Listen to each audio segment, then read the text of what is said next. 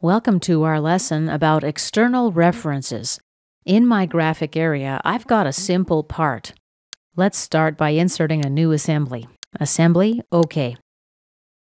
Part A is open. Let's click on it and click OK. Inserting the component this way orients the part the same way as the assembly is oriented.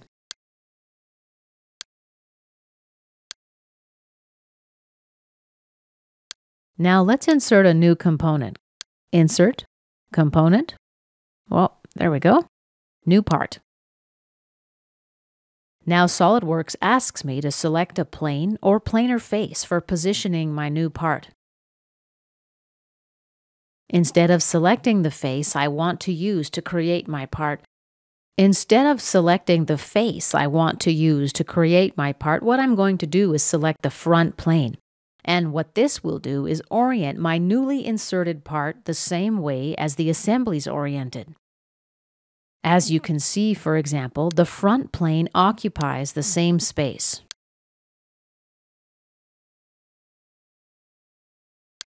Notice that SOLIDWORKS adds an in-place mate that makes the component fully defined. Okay, let's cancel out of this sketch. Do we want to discard all changes? OK. Let's select this face and insert a sketch. Click Convert Entities. And let's cancel out of the tool and exit the sketch. Let's go to the Features tab. Extruded Boss Base. Under End Condition, let's choose Up to Surface. I'm going to select this face and click Accept.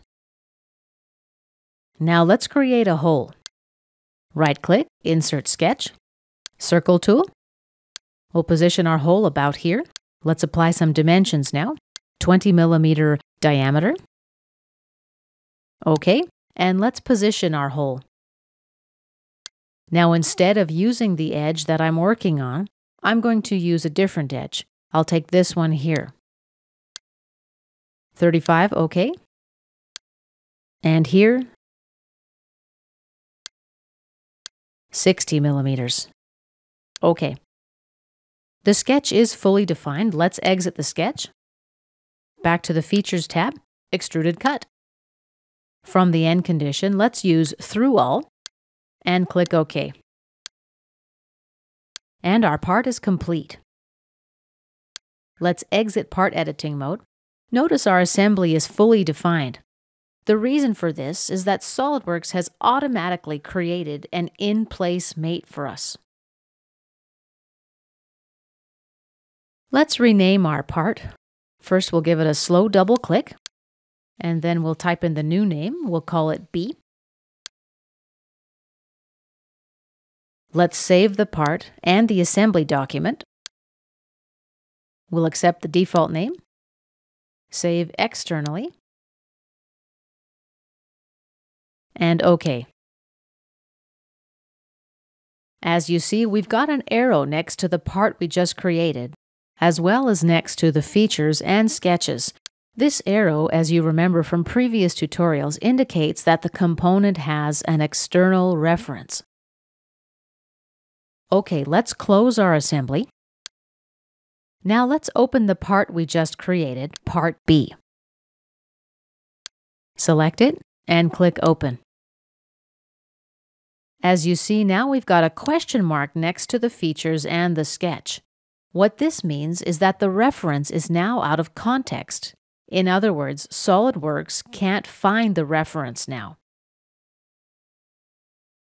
Part A is what we use to create the reference. That document is currently open.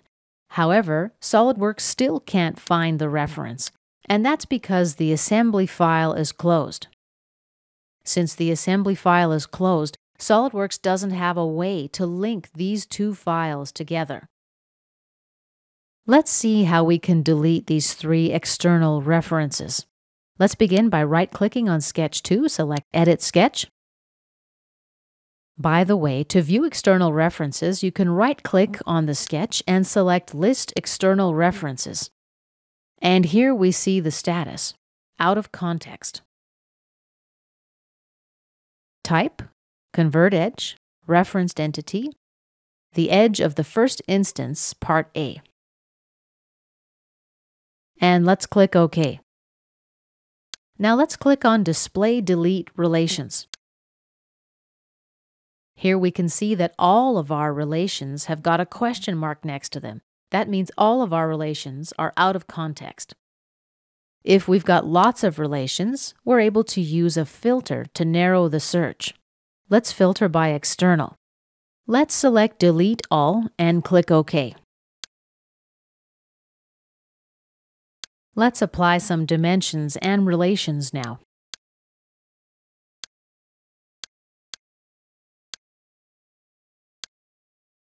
OK. We can do this manually, as I've done, or we can use the fully defined Sketch tool. I'll select all entities in Sketch, select Relations, and Dimensions. Now the sketch is fully defined. Let's exit the sketch. However, notice our sketch still shows the out of context symbol, the question mark. Let's right click and select List External References. We can see the problem is with the sketch plane. Let's cancel out of this window. Now let's right click and edit the sketch plane. Here I'm going to select the top plane and accept. Now we've deleted all external references for Sketch 2. Let's move to Boss Extrude 1. Let's check what problem is here. List external references. Here, for the end condition, use the surface as a reference. Let's cancel out of this window. Before editing Boss Extrude 1, let's check the depth of the extrusion. I'm going to click on the Evaluate tab, Measure tool, we've got a length measurement of 5 millimeters. Let's close the measure window. Or we can go to part A and do the same thing here. Measure 5 millimeters. Let's close. Let's edit Boss Extrude 1, Edit Feature. For the end condition, let's use Blind. Extrusion depth will be 5 millimeters. Tab to register, and click OK. Lastly here, we need to delete the external reference for Cut Extrude 1 and Sketch 3. Let's right-click on Sketch 3 and select List External References.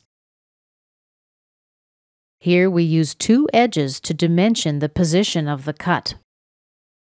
Let's cancel out of this window, right-click, Edit Sketch. And let's delete both of these dimensions. Select them in the graphic area and press Delete on your keyboard. Now activate the fully defined sketch tool. All entities, OK.